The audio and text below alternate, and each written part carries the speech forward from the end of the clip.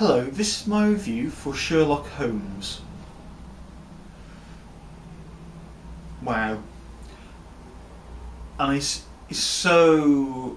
It's basically, obviously, it's been by the same director, but it's basically uh, a lock, stock, smoking barrels, but set in the past with Sherlock Holmes in it.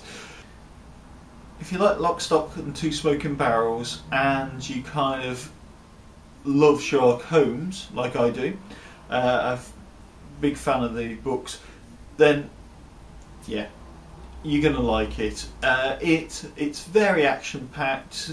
It's very funny, which I wasn't expecting actually, and it's also a very very pumped up, energetic action throughout. But yes, it's great. Definitely worth seeing anyway. So I give this film four out of five. A really good film. Uh, again, pushing boundaries a little bit of what can be done, and kind of messing with the past a little bit, and messing with the stories. So if you're Sherlock Holmes purist, you might cringe a little bit, but saying that, it's bringing it to a whole new audience, and they're cracking stories and cracking characters.